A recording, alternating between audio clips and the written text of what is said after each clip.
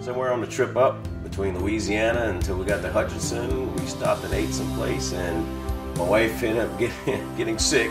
As we later found out, picked up food poisoning. And I'm in bed. I just don't feel good. And it went on. No, I couldn't eat anything, couldn't drink anything, anything, nothing. They brought me in. I'm walking in the hospital, cramping up.